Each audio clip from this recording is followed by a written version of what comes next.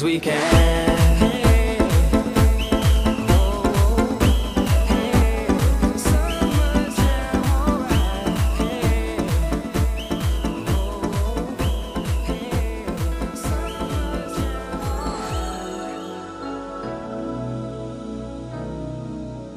There comes a time when we heed a certain call, when the world must come together as one.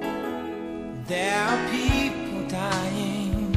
Oh, when it's time to lend a hand to life, the greatest gift of all.